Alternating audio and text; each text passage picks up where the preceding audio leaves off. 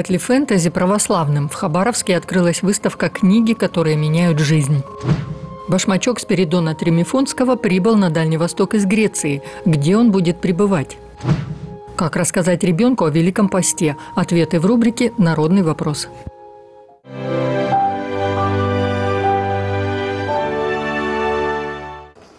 Он будет сиять на границе с Китаем. Глава метрополии осветил крест строящегося храма села Казакевичева. Отсюда до границы рукой подать. На другом берегу реки видна площадь Солнца иностранного государства. На нашей стороне должны засиять купола церкви в честь Казанской иконы Божьей Матери. Ее дальневосточники отстраивают заново на месте разрушенной большевиками. У нас замечательное и знаменательное событие. Мы осветили крест, который будет здесь стоять. И уже никто не пройдет, ни враг видимый, ни невидимый. Поэтому силой этого креста всегда стояла Россия. А вы подрастающие, здесь вот много поколений, да, вот знаете, где наша сила? А сила наша в вере православной. Русь, храни веру православную, не же тебе утверждение. Так было, так будет всегда. Храни Господь всех. Церковь, что стояла на этом месте, построили казаки-переселенцы сто лет назад. Когда в годы гражданской войны ее разрушили, одному благочестивому человеку удалось спасти казанскую икону Божьей Матери. Сейчас старинный образ покровительницы дальневосточных рубежей находится в музее села Казакевичева. После окончания строительства он займет почетное место в храме.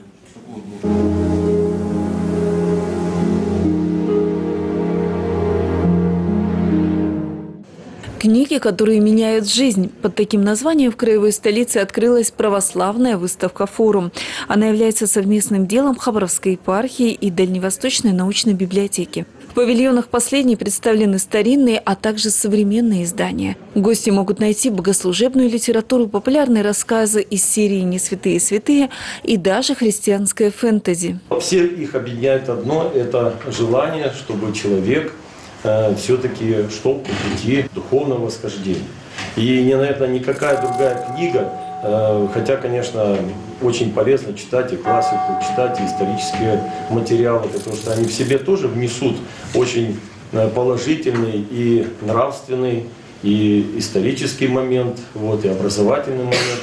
Но все-таки духовная литература, она открывает человеку возможность войти жизнь вечную. Это очень важно. То есть понять, что он создан по образу по подобию Божьему, и что он предназначен не только для этой земной жизни, но по достойной, э, достойному прохождению этой земной жизни этот человек удостаивается еще и жизни вечной. Эти книги не только э, просвещают ум и очищают душу, они еще прекрасно исполнены, если вы заметили. А, дело в том, э, я хочу выразить комплимент издательству Русской Православной Церкви, что с каждым годом книги становятся все более привлекательными и в полиграфическом смысле. На выставке хабаровчане смогут не только познакомиться с православными изданиями. В научной библиотеке пройдут кинолектории. Для юных дальневосточников будет представлена песочная анимация «Сказочная история с киселем». В рамках форума состоится также акция «Подари книгу детям». Она предназначена для сирот, в том числе социальных.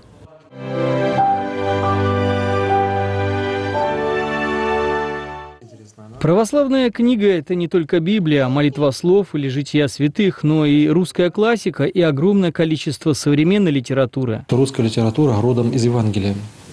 Поэтому любой литературный источник классического периода золотого нашего XIX века, Серебряного века, обязательно найдем упоминание о душе, о вере, о принципах духовной жизни. Потому что русский народ, он изначально был конфессиональным. Первые слова, написанные на славянском языке, были начальными словами Евангелия. В начале было Слово, и Слово было у Бога, и Слово было Бог, написанные святыми равноапостольными Кириллом и Мефодием. В этом издании наших дней их можно прочитать на 70 языках, в том числе на одном из восьми языков коренных народов Дальнего Востока – Эвенкейском. Первая печатная книга – это была книга «Апостол», э, которая появилась в 1564 году, 14 марта.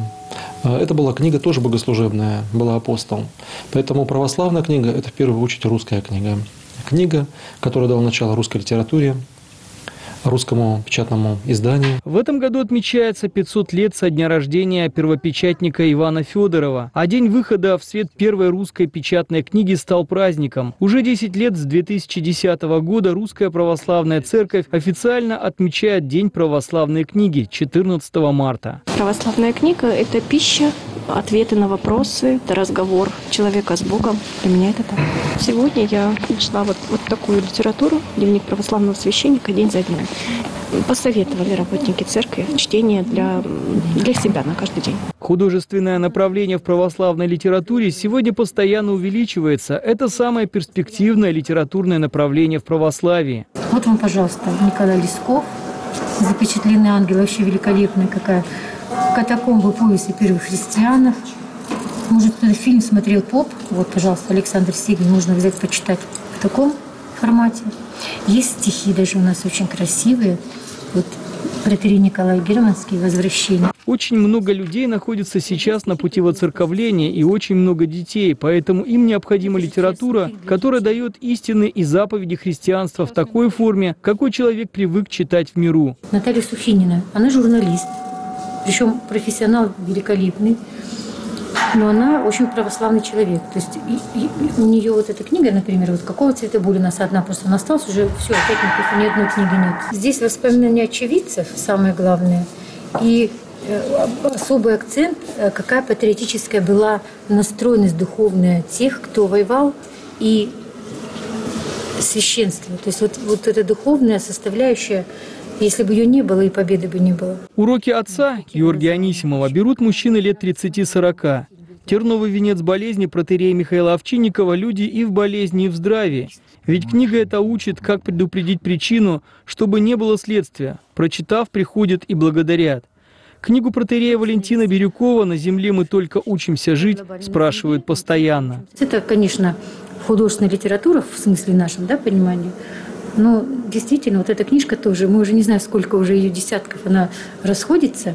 Кто-то почитал, приходит, берет кому-то. И одна женщина сказала, я эту книжку э, даю читать только тем, которые мне вернут, потому что я не хочу, чтобы она потерялась. Детская православная литература – это основание, на котором ребенок будет строить свою духовную жизнь. Это ступеньки, по которым он будет подниматься ко Христу. Рассказы старца Паисия, чудотворцы Святой Руси, русские боголюбцы. Каждая книга как жемчужина. В школе, вот в пятом классе, вот это все проходит.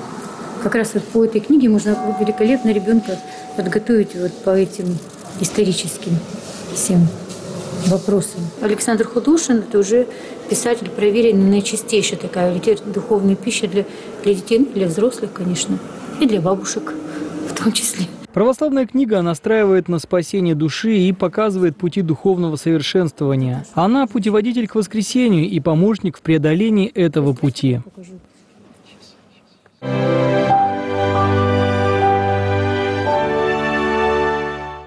Более чем 30 дальневосточницам помог антикризисный центр для женщин. Проект «Не одна» запустила Хабаровская краевая общественная организация «Милосердие». В уютном помещении получают приют нынешние и будущие мамы. Почему организаторы сравнивают его с родительским домом? Три года будет в марте. Да. Анастасия находится здесь с тремя детьми. Младшему Максиму всего месяц. Эта комната в антикризисном центре стала его первым домом. В декабре мама пришла сюда беременной. С мужем случилась беда, и женщина оказалась без крыши над головой. Попала я сюда, конечно, в трудную ситуацию у меня жизненная. Нас дедушка не принял в свою семью. Сказал то, что нельзя у него дома находиться. Сначала были у подружек жили. Потом мне посоветовали ну, обратиться сюда, то, что есть такой центр. Анастасия вместе с сыновьями здесь завтракает, обедает и ужинает. Ее одевают, а детей обеспечивают не только вещами, но и памперсами, смесями. Общается со мной, поддерживает меня, потому что да, некоторое время я не могла в себя прийти, потому что ну, некому мне помочь было. А потом у меня уже все стало хорошо, я уже смирилась уже совсем, то что я одна и должна дальше жить что я совсем справлюсь.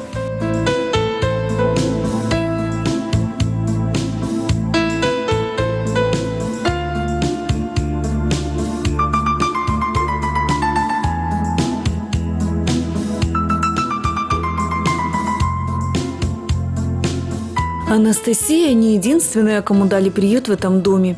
Центр рассчитан на пребывание 21 человека, включая детей. Женщинам помогают не только материально. С ними работает социальный работник, терапевт, педиатр. По желанию мамы могут пообщаться со священнослужителем. Кстати, на первом этаже здания есть домовый храм, где совершаются богослужения. Дальневосточницы попадают в кризисный центр по разным причинам. Кто-то спасается от кухонных боксеров, кому-то и вовсе некуда идти. Очень много, большой процент детдомовских девочек, которым просто вот, ну, у них нет жилья, никогда не было.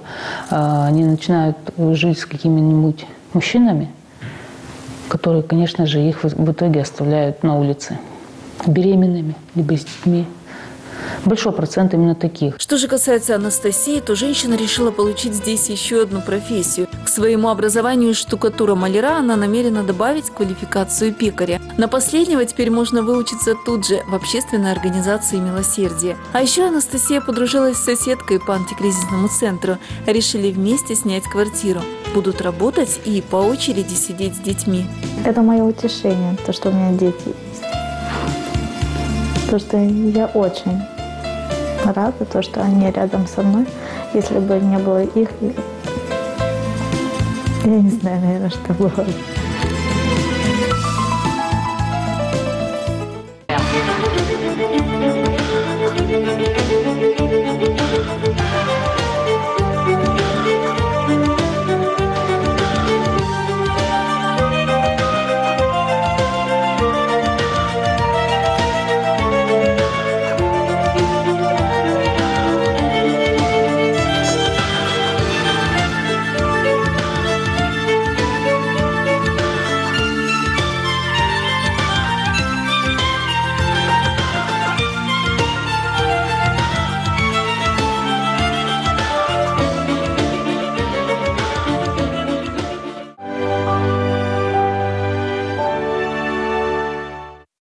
Уважаемые телезрители. Приветствую вас на рубрике «Народный вопрос». И хотели бы ответить на те вопросы, которые вы нам прислали на сегодняшнюю передачу. Здравствуйте, батюшка. Можно вопрос? А как маленькому ребенку поститься и можно ли это делать? Ну, соблюдать пост в зависимости от того, насколько человек приобщен к церковной жизни. Если человек рожден в православной церкви, если он крещен с самого момента рождения, я думаю, можно поститься так же, как и взрослые. А если его крестили в нецерковной семье, которая только воцерковляется, приходит в храм, соответственно, надо посоветоваться с священнослужителями а, ближайшего храма, рядом с которым вы живете, обратиться туда. Потому что в зависимости от здоровья, а, возможностей, сил, от воцерковления, священник уже посоветует вам тот пост, который будет вам необходим.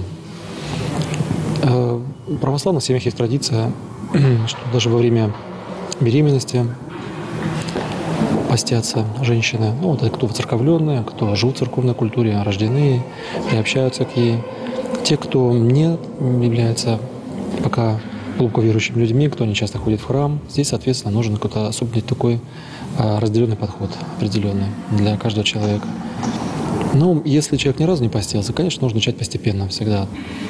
Особые дни, сугубо, которые отмечает церковь а, Великим постом, это среда, пятница, особо строгие дни. А, Конечно, воскресный день, как а, воспоминание о воскресении Господа Иисуса Христа. Поэтому вот в эти дни, в среду, в пятницу, можно особо попаститься и в воскресенье прийти в храм, поучаствовать в богослужении. В субботу вечером, а в воскресенье с утра. Здравствуйте, батюшка. Рас- Подскажите, как рассказать ребенку о Великом посте? Мне кажется, ребенок легче всего поймет понятие э, поста. Почему? Потому что у ребенка очень много ограничений. Мы перед ним ставим, что нельзя допоздна, скажем, смотреть телевизор. Нельзя, м, скажем, играться э, с- со взрослыми, когда взрослые разговаривают о серьезных вопросах. То есть мы перед ребенком ставим очень много ограничений. Поэтому для ребенка ограничение в пище является таким же естественным, как все остальное. Поэтому, указав ребенку на то, что пост является необходимым условием для того, чтобы угодить Богу, ребенок в этом участвует. Можно сделать это в виде игры. Очень был бы хороший момент, что дети живут игрой. Но обязательно, конечно, участие родителей, потому что если родители не постятся, то ребенку будет, конечно, объяснить очень тяжело. А если постятся родители, ребенок даже не замечает разницы между пищей постной и не постной. Для ребенка гораздо важнее и значимы другие вещи. Это игра, это участие родителей в его жизни, участие каких-то интересных моментов.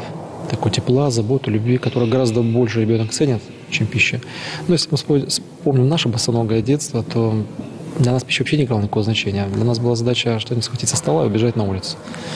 Я думаю, в этом отношении для ребенка пища не является главной составляющей. Вот для взрослого это уже сложнее, потому что взрослый привыкает к определенному образу жизни, привыкает к какому-то темпу жизни, к какому-то качеству пищи. Для детей это не имеет никакого значения. Здравствуйте, батюшка. Скажите, пожалуйста, стоит ли будить ребенка, если он уснул во время службы? Могу рассказать одну историю, которая была у нас э, в одном из храмов Хабаровского края. Э, во время того, как совершалось богослужение, певчие э, привели с собой ребенка маленького. И он под, скажем, громкое пение церковного хора спокойно спал так, как будто в храме вот ни одного человека. А вообще для ребенка, вот если обратить внимание, для него церковь является естественной средой. Он себя чувствует здесь очень уверенно, как дома. Если, скажем, человек не воцерковлен или семья не воцерковлена, бывают такие моменты, что нужно какой-то период, чтобы ребенок адаптировался, а здесь он себя чувствует очень хорошо. Если он здесь спит, если что-то ему интересно, у много книг, из каких-то вещей, я думаю, для этого такое пространство церковное для него интересно, конечно, в рамках определенного поведения, которое установлено в храме самим настоятелем да, или церковным уставом. Поэтому здесь будить его не надо. У нас даже есть такие, были такие случаи, когда ребенка приносили на причащие спящим. И ребенок во время сна открывал рот, причащался и продолжал дальше спать. Ну, такие вот знаете, удивительные случаи, потому что дети – это вообще такой особый мир, особая атмосфера, которая создается вокруг них. Поэтому я думаю, что здесь надо, конечно, каждому родителю быть очень мудрым.